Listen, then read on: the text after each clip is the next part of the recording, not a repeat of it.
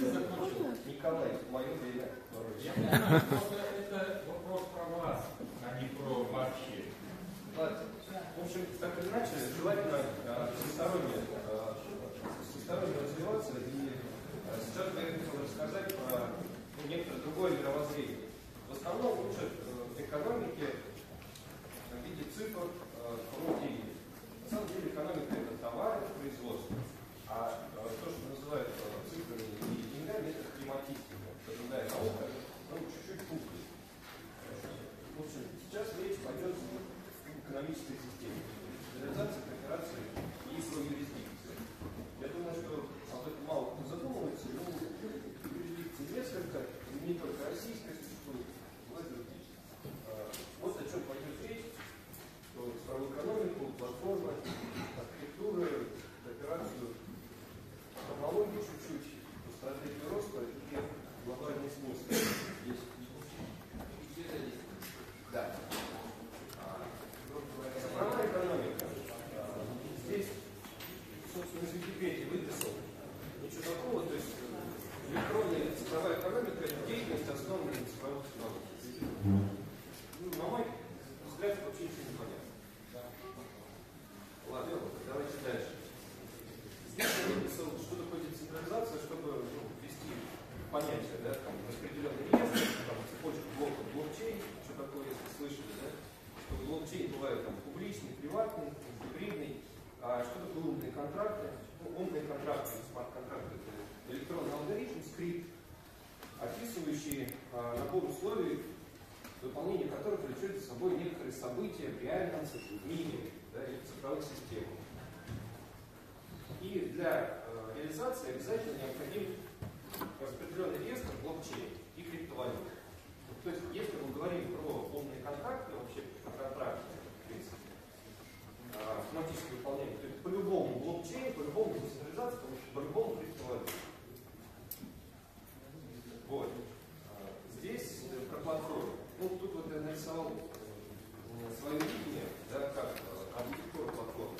Вообще про платформу. Платформа м, это некоторая система и выписал признаки. Значит, ну, первое, хранение документов э, внутри платформы. Платформа вообще создается для, как экономическая платформа, для производителей и потребителей. То есть, чтобы соединить производство и потребление. А, так вот, э, внутри платформы финансовые операции, арбитраж внутри, а, также помощь в логистике, страхование там, и другие модули. Вот. Это признаки платформы. А, к слову сказать, что сейчас стоит цель для развития э, цифровой экономики, да, а, стоит цель создания тысячи платформ за 10 лет в России. А, На мой взгляд, как платформа должна выглядеть вообще в принципе? На мой взгляд, нижний э, уровень это протокол, э, распределенный реестр, естественно, и э, автоматически исполняемые скрипты и смарт-контракты. Протокол, как мне кажется, наиболее подходящий это ISO 2222. Это передача финансовой, э, финансовой информации. Поверх, э, поверх вот этого базового набора API и библиотеки и э, поверх этого уже модули, которые выглядят в виде закрытых сервисов э, или там, сайтов, порталов. Э, может быть, это один, в принципе, сайт, то есть платформа, ну, например, Яндекс э, Маркет там, или Яндекс Такси, там, или, вот. Ну, в принципе, децентрализованной э, распределенной системы сайтов несколько. как минимум. Вот примерно такая архитектура, как мне видится. То есть это в данном случае полносвязанная сеть, там 6, допустим, участников, которые через узлы, да, через ноды, через сервера соединяются между собой и синхронизируются в базу данных. Но это распределенная система. А, так как мы говорим про финансы, финансы являются частью экономики, а, и сейчас все финансы, они на банках. А в новой э, системе децентрализованной банков нет. Есть банкинг. Да? То есть банкинг это финансовые операции. Так вот, финансовые операции, они с помощью смарт-контрактов. А банк э, это IT-компания, которая обеспечивает инфраструктуру, чтобы она работает. Ну и, это условно, телефон 8800, чтобы позвонить, в случае, что что-то пойдет. здесь вот этот слайд платформы С вами как поздороваемся. презентация Дмитрия Полякова, а, где ну, концентрированы сервисы и организация а, кооперативная. Ну, о чем идет речь? А, Есть ресурсы производственные, там, людские, там, не знаю, любые ресурсы, финансовые в том числе. А их объединять для достижения цели, для проектной деятельности. В том числе а, и начиная с идеи, чтобы свою идею проверить, чтобы, ну, как минимум, а, а, краудфандинг провести.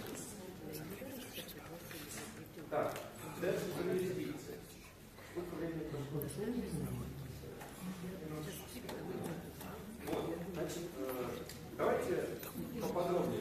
Юрисдикция – это предел компетенции того или иного суда, либо другого органа государственной власти. А юрисдикция, она относится к государству. Государство – это что?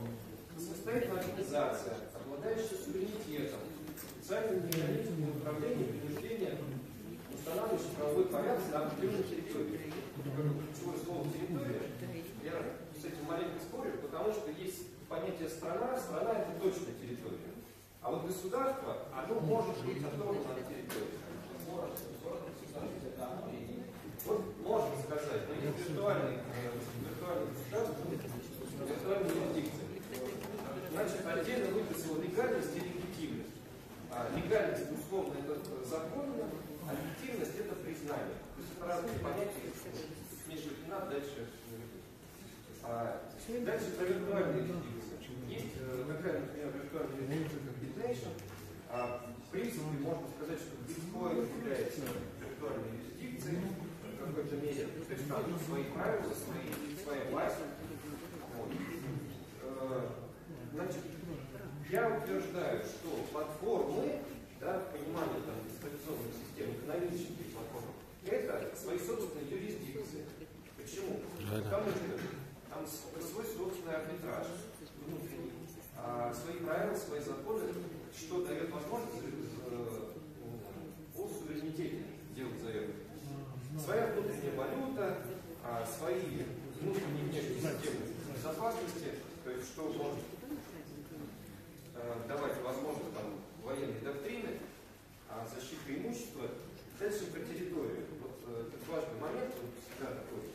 А, значит, виртуальный, виртуальный государственный или платформе а, территории может признаваться те IT-системы, да, там, сервера, дата-центры, каналы связи и местонахождение предприятий и людей, а, которые нужно защищать. То есть, если нападают на это предприятие, значит, они вторгаются в нашу юрисдикцию. Ну, неважно, где это предприятие находится, ну, то есть это может быть на территории какого-то государства. А, так вот, а в чем м, отличительные да, а, черты и- и- или похожие? Что такое государство? Государство – это первое – суверенитет, второе – своя валюта, третье – военная доктрина, ну и четвертое – территория. То есть фактически мы говорим о том, что а, платформа – это и есть государство. А, суверенитет. Что дает вообще возможность заявлять о том, что мы создаем государство? Провокационно, да? А суверенитет бывает, ну, выписал там три типа. Государственный суверенитет, национальный суверенитет и народный суверенитет.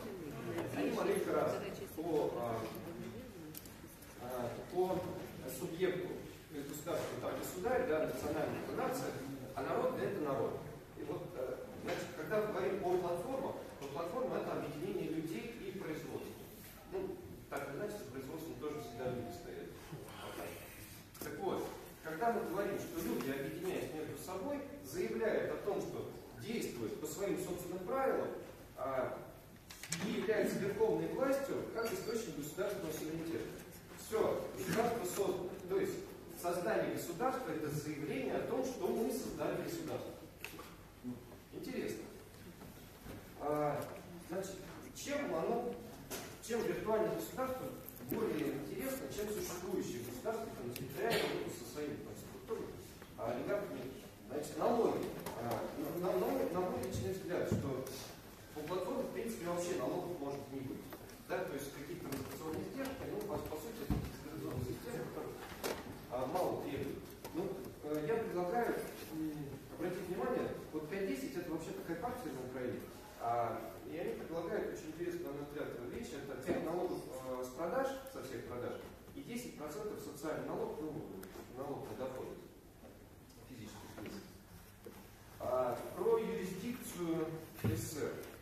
А, ну, я думаю, что не все, кто здесь э, в зале сейчас находится, родились в СССР, но я родился в СССР. А, и вот как бы я вроде был гражданином, потом раз что-то перестал быть гражданином. Так вот, а, гражданство, оно по факту рождения. То есть как бы, гражданство лишиться просто так нельзя. А, но, но мы имеем де-факто. То есть как бы есть де юра, да, там, а есть де-факто. Де-факто мы, конечно, в Российской Федерации сейчас находимся. Да? Так вот, есть проект СССР-2, который говорит о том, что те принципы, да, и, ну, те а, смыслы, да, ну, те там, цели, которые были там в СССР, а, их продолжать ну, в, в, новой там, реинкарнации какой-то. Ну. Кстати, сейчас восстановлены, а сейчас восстановлены там, президент, главный командующий, там, в общем, сейчас э, идет речь о восстановлении Центрального банка, да, кстати говоря, советский рубль это единственная обеспеченная валюта. Она обеспечена всем достоянием Советского Союза. Никакая другая валюта существующая, она ничем не обеспечена. Просто память, это надо понимать. Биткоин точно так же ничем не обеспечен. То есть это отличие денег от валюты. А, так вот, политическая оценка.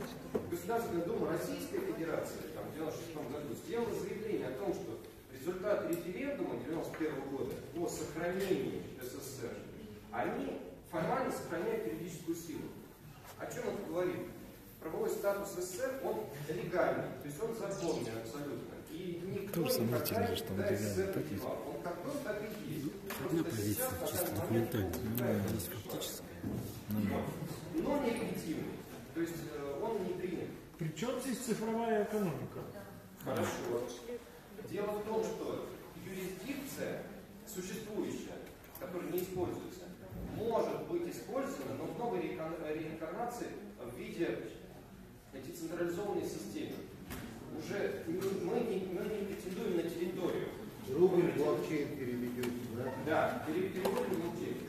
А вообще, если говорить про Россию, развитие России, ну, мы здесь все живем, естественно, а, вот сейчас есть, на мой взгляд, одна единственная стратегия нормальная, это стратегия роста Столыпинского клуба. Я с уважением отношусь там, к Кудрину, там, э, там, другим, но ну, как бы вот э, это единственное, что можно рассматривать.